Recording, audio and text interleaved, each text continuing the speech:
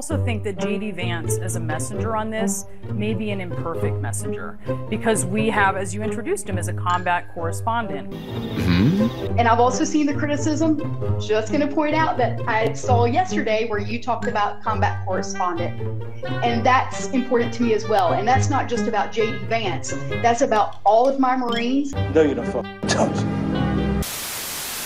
said it before and I'll say it again. You do not hate these people enough. Brianna Keilar is one of the more loathsome Orwellian characters on CNN constantly wringing her hands about dangerous misinformation and accusing Trump and Republicans of spreading debunked conspiracy theories. But of course, she carves out an exception for her to do all of those things for democracy, no doubt. Seriously, though, the media has been an organ of the Democrat Party as long as I've been paying attention, since around the Clinton administration. But holy shnikey, most of our free press is indistinguishable from the Kamala Harris campaign at this point. This is another great example of that, as this fake reporter, Brianna Keilar, copes over the fact that veterans are calling out Tim Walz for stolen valor. So make sure to have your bucket ready because this clip is going to want to make you spew. Also, make sure to stick around for my thoughts and some bonus footage of CNN cutting their feed when a veteran accuses Walz of stolen valor. And speaking of digestive issues, this is caused by a potential toxin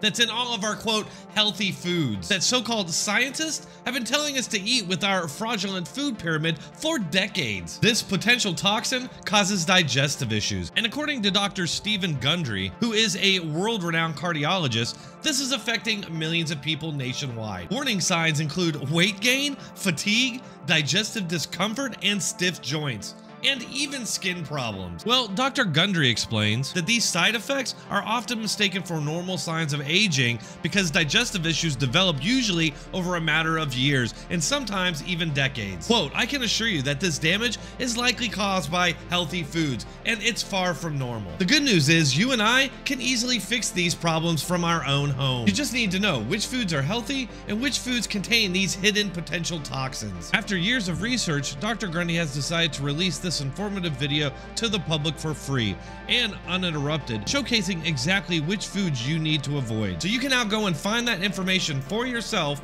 at gutcleanseprotocol.com forward slash drone. That's gutcleanseprotocol.com forward slash drone. I also think that JD Vance as a messenger on this may be an imperfect messenger because we have, as you introduced him, as a combat correspondent, which was what his title was. But when you dig a little deeper into that, he was a public affairs specialist, someone who did not see combat, which certainly the title combat correspondent kind of gives you a different impression. So he may be the imperfect messenger on that.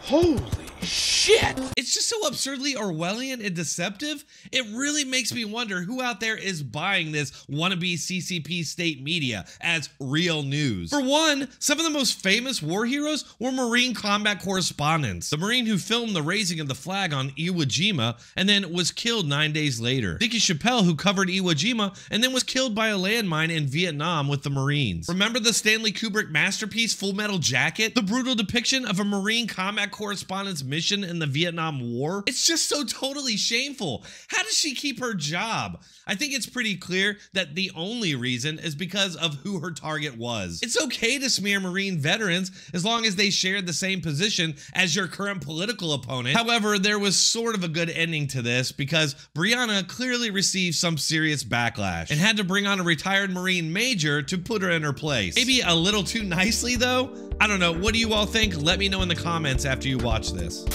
Just going to point out that I saw yesterday where you talked about combat correspondent.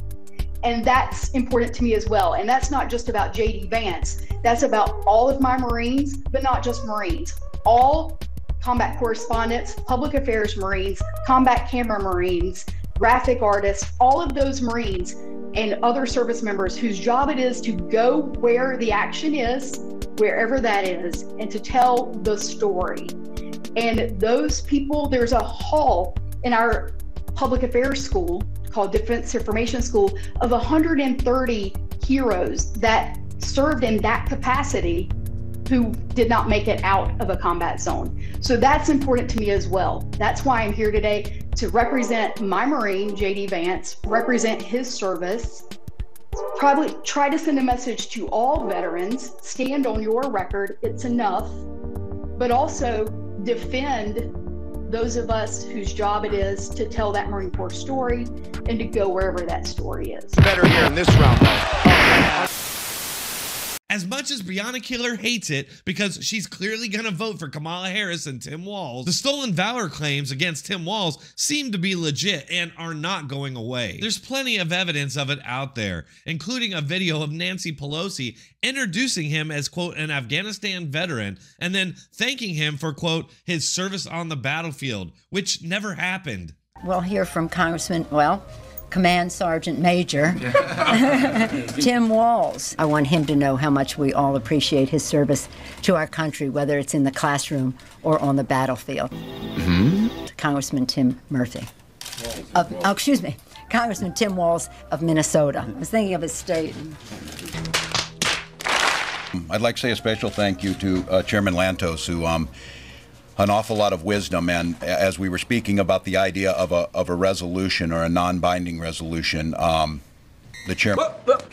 As you can clearly see there, Walz made no effort to correct her misinformation and was happy to steal some valor. Now, I already know there's those of you out there telling me to shut the F up because he still served 24 years, and that's more than I can say. Sure, that's sort of fair, except I did serve in the Air Force as an aerospace ground equipment mechanic, so I never did anything special, but people who did seem to think that Tim Walz did steal valor. So take it from them. Uh, as far as being a command sergeant major, he as soon as he retired or i'm going to go with the term retired which he did which and he was mm-hmm. eligible after 20 years to get a full retirement. Uh, he was taken out of the academy at that time.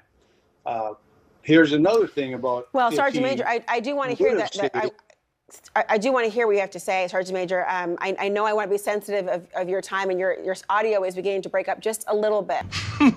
Man. of course. Of course they cut the feed. I don't know, folks. What do you all think? I just know that anytime Trump or any Republican says anything even slightly critical of the military, they are set upon by the media, who claims that they're attacking the military and suddenly anti-military. Yet you have the CNN ghoul go on and smear thousands of veterans because she doesn't like JD Vance. Let me know what you think in the comments, and if you're still here, might as well hit that like button and subscribe. I post on a regular basis, so keep checking back for more.